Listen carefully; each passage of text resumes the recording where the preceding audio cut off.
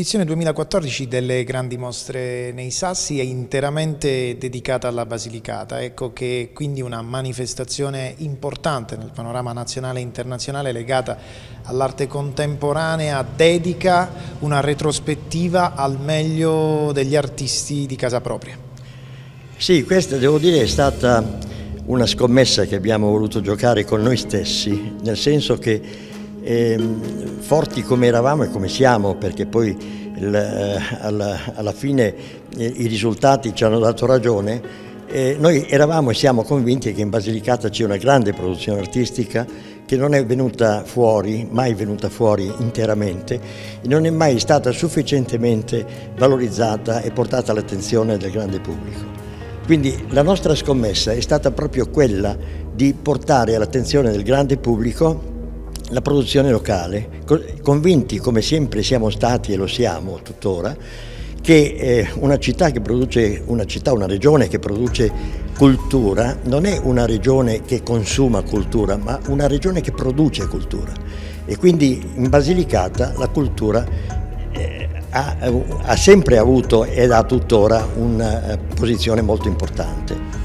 E questo anche il senso ultimo di un'operazione, qual è quella legata alla candidatura di Matera Capitale Europea della Cultura. Ebbene, un progetto come questo, un'iniziativa come questa eh, va proprio verso quella direzione di produzione, come abbiamo detto, quindi non soltanto di fruizione o di diffusione, ma la voglia di essere culturalmente protagonisti in un territorio e confrontarsi con eh, ciò che c'è intorno. Esattamente, lo spirito era proprio questo perché noi fino ad ora, dal, eh, questa è una rassegna di mostre, le grandi mostre di scultura nei Salsi,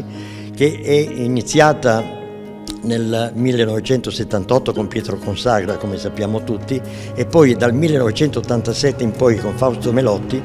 non ha avuto mh, eh, più eh, interruzioni se non l'anno scorso per una serie di motivi, non ultimo quello di natura economica, non che quest'anno non ce ne siano, perché quest'anno ce ne sono forse ancora più che non l'anno scorso, ma ehm, non ci è sembrato eh, opportuno interrompere una tradizione e una, eh, così, interrompere una storicizzazione di un evento che era quello delle grandi mostre di scultura nei Sassi. Ed è la prima volta, 20, questa è la ventisettesima edizione, è la prima volta che si eh,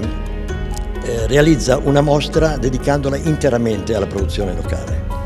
Non sarà stato facile per la curatrice Buscaroli selezionare le opere, vista la consapevolezza del fatto che ci sono diversi artisti e una grande produzione. Certamente no, perché è, stato doloroso eh, dover purtroppo, ma questo eh, si fa sempre in tempo poi a riprenderlo il discorso in, un prossimo futuro, speriamo più prossimo possibile, ehm, la selezione ha riguardato un numero altissimo di, di, scultori e ha portato a evidenziare la presenza di 13 scultori che in questa, eh, in questa kermesse potevano essere eh, portati all'attenzione del grande pubblico e di questi 13 scultori poi eh, si è dovuto operare una scelta anche della produzione che testimoniasse la, la loro produttività e il loro valore. Eh, resta poi un binomio inscindibile che è quello dell'assoluta antichità di questi ruoli, dello spirito questi luoghi, dello spirito evocativo che si hanno, che si va a eh, mischiare alle, alla contemporaneità di queste opere, insomma una sorta di, di ossimoro di tempi che però trova perfetta sintesi. Assolutamente sì, anche in considerazione del fatto che eh, questi luoghi hanno un appeal particolarissimo eh, le opere esposte in questi luoghi eh, conferiscono a questi luoghi e i luoghi conferiscono alle opere un aspetto singolarissimo eh, di simbiosi perché ognuno cede, eh, i luoghi cedono alle opere, le opere cedono a, a, ai luoghi qualcosa. Se si considera che questi sono dei luoghi scavati nella roccia e che molte di queste opere sono state realizzate con lo stesso materiale e quindi alloggiate in questi luoghi, quindi si capisce bene che già questo è un aspetto molto, molto intrigante diciamo, della, della questione. Un'opportunità diversa di fruirli, quindi soprattutto per i visitatori. Sicuramente sì, perché si immagini queste opere, si possa immaginare che queste opere vengano collocate in ambienti del tutto eh, privi di questo appeal al quale facevo riferimento prima, non, non hanno la forza, la forza non, non riescono ad esprimere la forza che riescono ad esprimere in questi luoghi.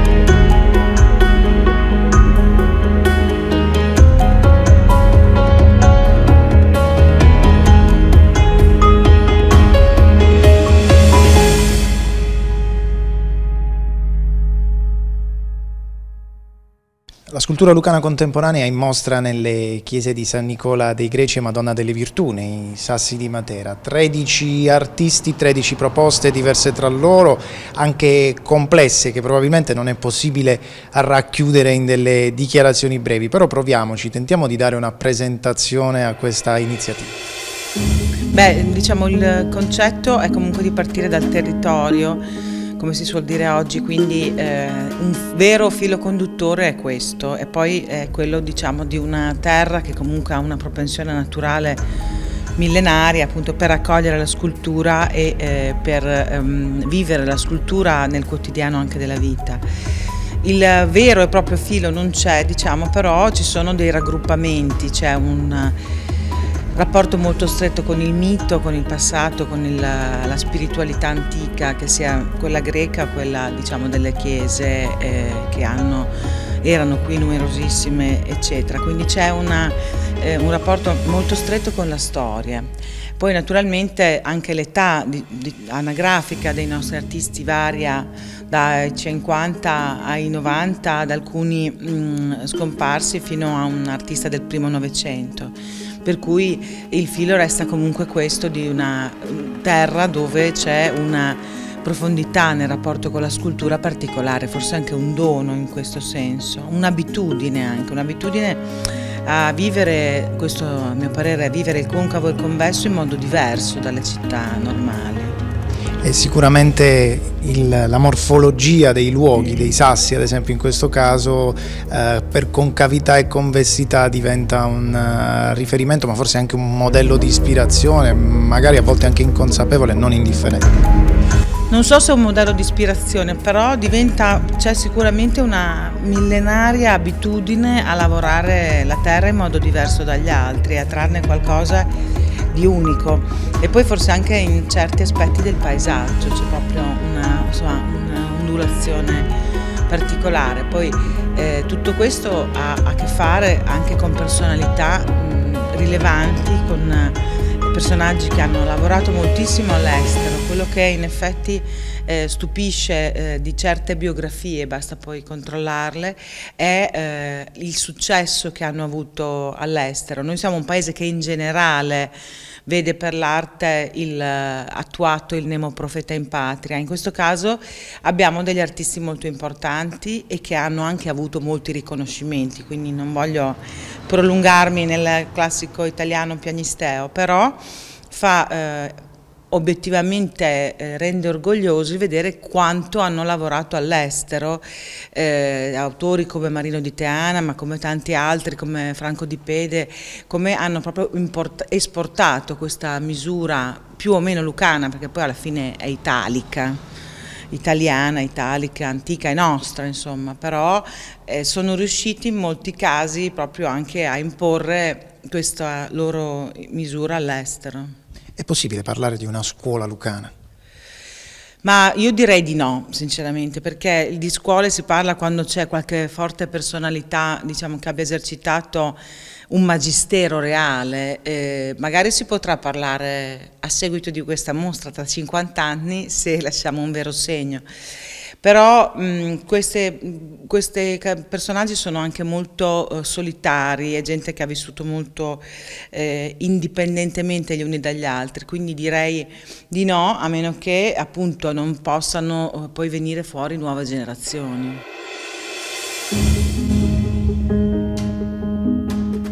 Parlava di queste personalità artistiche lucane spesso solitarie che comunque difficilmente fino ad oggi si erano riunite in un unico luogo, perlomeno dal punto di vista espositivo. E questo è sicuramente un valore aggiunto di questa iniziativa e il catalogo che ne è venuto fuori di fatto segna un momento editoriale importante sì, il catalogo è nato eh, diversamente dalla maggior parte dei cataloghi perché è diventato un vero e proprio libro, direi proprio un libro d'artista, perché prima eh, abbiamo deciso di ambientare alcune delle opere, soprattutto le opere degli artisti che eh, sono scomparsi, anche perché era più semplice ed era più suggestivo e poi alla fine si è deciso di eh, rifare tutte le fotografie perché per tutti è un'occasione unica sia eh, diciamo per eh, gli artisti più antichi che per i nostri eh, contemporanei e allora il libro è diventato una, un oggetto diverso dal catalogo della mostra che si fa frettolosamente entro la data di inaugurazione, è diventato un vero e proprio libro che ritengo che possa essere importante anche per gli stessi artisti. E poi c'è questo ruolo che ormai da mezzo secolo la Scaletta svolge su questo territorio. Prima si diceva l'Italia è un paese che non asseconda e non dà spazi ai propri talenti. La Scaletta da questo punto di vista ha sempre cercato di lavorare per il territorio non soltanto sulla diffusione ma anche sulla produzione culturale. Eh beh sì, ha accompagnato proprio anche Matera in questa sua evoluzione da città complessa a appunto candidata della cultura per il 2019 con un ruolo abbastanza unico come poi è unica la città e eh, devo dire eh, la scaletta soprattutto raccoglie personaggi straordinari che ehm, si dedicano al loro circolo e alla, alla, vita del circolo in un modo veramente unico. Eh, sono eh, persone che ehm, passano ore e ore a, lavorare senza nessun tipo di fatica e che oltretutto stanno anche crescendo una sorta di eh, giovane generazione e questo credo che sia proprio una condivisione, un amore, qualcosa di, che va oltre le abitudini normali diciamo, dei circoli degli artisti. Fare una panoramica su tutti gli artisti e le opere esposte in questi spazi non è sicuramente facile, ci soffermiamo però in particolare su Pesce che di fatto è da più parti lo avete affermato, costituisce un aspetto particolare di questa mostra, una sorta di mostra nella mostra. Sì, è stato proprio un omaggio come a un artista che è nato nel 1898, quindi che ha dei percorsi completamente diversi dagli altri naturalmente. È un artista, diciamo così, degli anni 30 e 40 del Novecento che esprime un forte classicismo eh, proprio di, di, di quegli anni e con alcune opere assolutamente straordinarie. E, ehm, quindi abbiamo fatto come una piccola mostra nella mostra,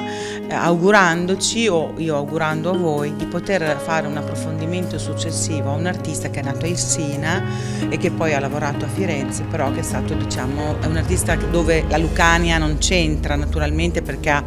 lavorato eh, soprattutto in Toscana, però eh, è importante che ci sia anche un predecessore così nobile per tracciare un'eventuale storia della scultura lucana come accade in alcune situazioni da queste parti quando viene qualche visitatore che è abituato a vivere i musei e viverne più di uno nel, nel mondo rischia di trovare delle opere che ad esempio si sono viste a New York, al MoMA.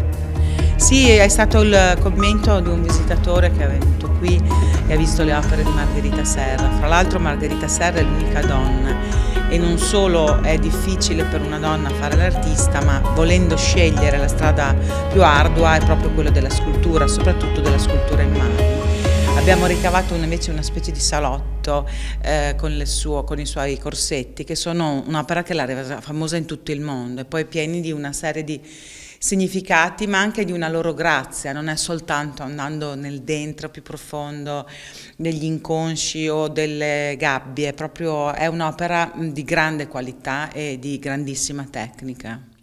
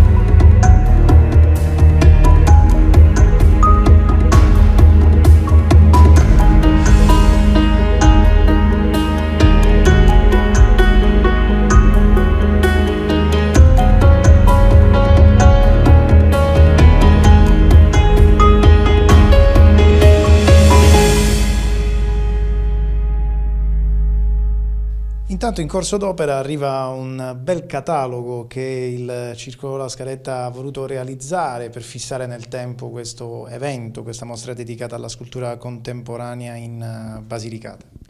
Beh sì, abbiamo ehm, prodotto un notevole sforzo perché il momento in cui abbiamo deciso di eh, rendere giustizia alla produzione locale, questo lo abbiamo voluto fare con un catalogo degno di questo nome da conservare nel tempo e che possa essere eh, eh, tramandato anche a ricordo appunto di questa produzione locale che è di altissimo livello. Eh, oltretutto la cosa che eh, mi preme sottolineare è che a distanza di eh, poco più di un mese e mezzo dall'inaugurazione della mostra abbiamo avuto un numero di visitatori altissimo, il più alto mai registrato finora, con una serie di ehm, eh, registrazioni, di, di, di, di, pareri, tutti altamente positivi, quindi eh, dal punto di vista critico ha ottenuto un effetto veramente straordinario. Eh, il catalogo, sì, il catalogo, eh, non solo il catalogo, ma anche un piccolo libricino, una guida che eh, è stata realizzata con gli stessi criteri, con la stessa carta, con gli stessi tipi, con le stesse fotografie, eh, che possa essere di più veloce diffusione e quindi eh, di maggiore diffusione rispetto a un catalogo, anche quella è stata una, una, uno sforzo notevole che ha voluto produrre la scaletta per eh, veicolare questa, questa mostra attraverso il pubblico. Un catalogo che rinsalda anche un rapporto di questa città, in particolare anche di voi animatori culturali della, della Scaletta con l'editore Barile. Esattamente, l'editore Barile diciamo che si è prodotto insieme a noi in questo sforzo avvalendosi delle professionalità più alte che la Regione potesse esprimere, eh, fosse in grado di, di esprimere, non solamente eh, lucane ma anche, anche Puglia, della limitrofa Puglia, per cui il prodotto finale che ha raggiunto l'editore Giuseppe Barile è stato veramente un livello altissimo e poi è sotto gli occhi di tutti, quindi